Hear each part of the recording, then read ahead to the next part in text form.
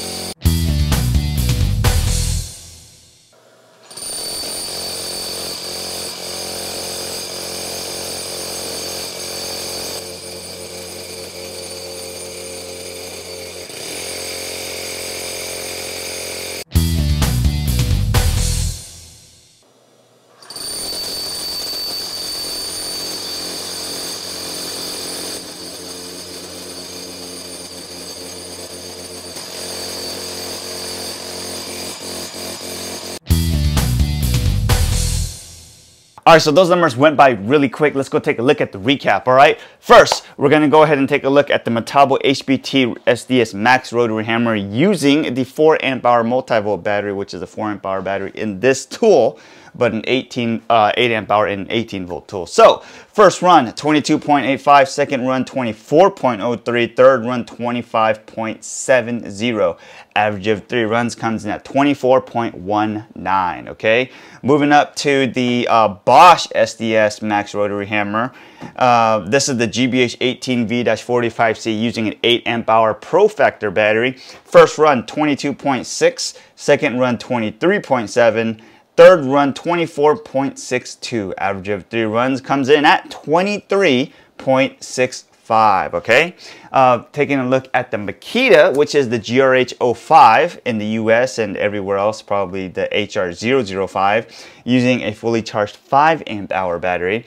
The first run was 18.93, second run was 20.15, and then the third run was 20.02. Taking an average of three runs comes in at 19 0.70 seconds, okay? So obviously the number is gonna be pretty obvious here, but let's go take a look at the leaderboard, right? So the first is the Makita GRH05, then followed up by the Bosch, then the Metabo. Although the Bosch and the Metabo are pretty much close neck and neck, uh, you know, maybe if we count for, let's just say, you know, user margin of error or anything like that, then they're probably all going to be really close. The larger bit size you take into account obviously will probably provide a little bit bigger part of a difference, right?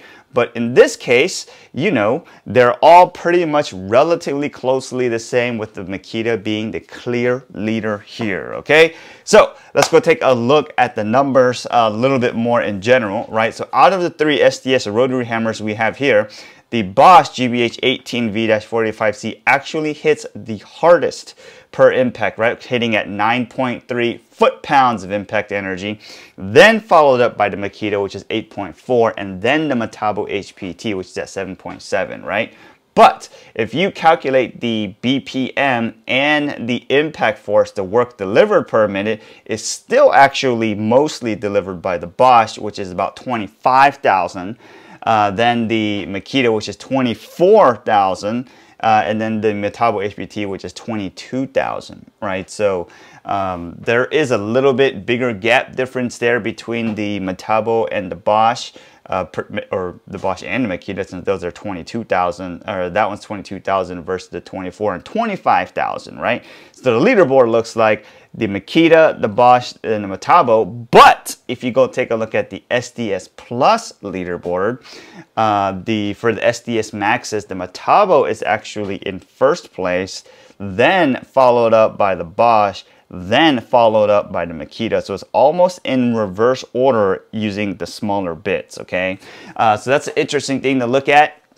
Um, you know, the thing that you really want to take away here is to use the right tool for the job, okay? So these tools are obviously beast and really big tools and heavy duty, heavy hitting tools, right? For drilling holes like half inch, these are just too oversized, right? Uh, there's probably better tools to do that with. Obviously, you've seen in previous episodes, but if you step up to a larger bit, these are going to be the better tools for you. So hopefully this video helped you guys out. If you have any questions, let us know. Otherwise, have a great day. Get back to work and we'll see you guys next time.